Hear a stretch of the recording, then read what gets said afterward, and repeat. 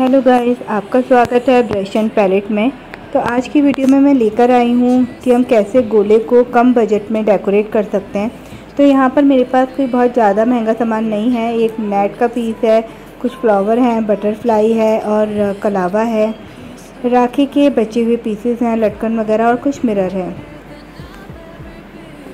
तो मैं इन्हीं सबको यूज़ कर कर आज ये अपना गोला जो है वो डेकोरेट करने वाली हूँ। तो देखते हैं क्या क्या सामान लगता है इसमें, इनमें से।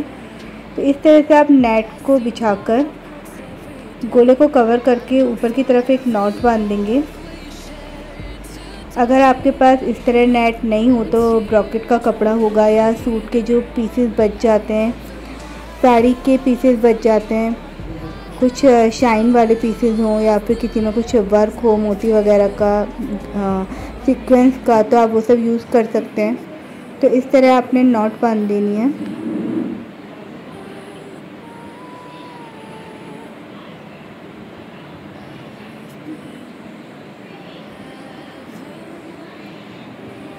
इस तरह जब हम डेकोरेट किए हुए गोले रखते हैं पूजा में तो जो फ़ोटोग्राफ में या फिर वीडियोस में बहुत अच्छे लगते हैं, जब आते हैं ये।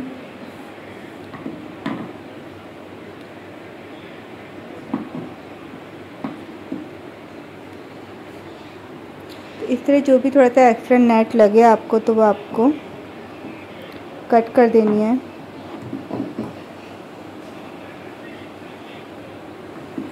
अब इस तरह रिबन लेंगे आप। गोल्डन ले सकते हैं सिल्वर ले सकते हैं, या फिर जैसा आपको कलर अच्छा लगता हो रेड है येलो है, इस तरह के जो कलर हम पूजा में यूज़ कर सक, करते हैं, वो कलर के आप रिबन लेकर इस तरह से अच्छे से चिपका लेंगे उसे।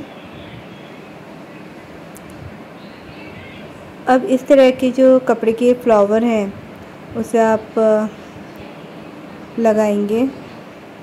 यहाँ पर आप बटरफ्लाई भी लगा सकते थे, लेकिन मैंने फ्लावर चूज़ करें।